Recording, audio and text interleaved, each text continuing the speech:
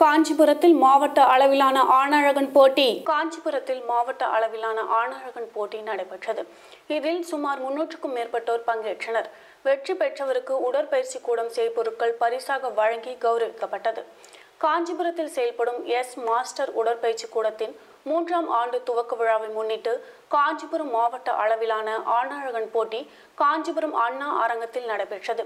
இதில் காஞ்சிபுரம் மாவட்டத்தை சேர்ந்த சுமார் முன்னூற்றுக்கும் மேற்பட்ட ஆணழகன்கள் கலந்து கொண்டு ஐம்பது ஐம்பத்தி ஐந்து அறுபது அறுபத்தி ஐந்து எழுபது கிலோ முதல் எழுபத்தி ஐந்து கிலோ வரை எடையுள்ளவர்களுக்கான ஏழு பிரிவுகளில் தங்களது திறமைகளை வெளிப்படுத்தினர்.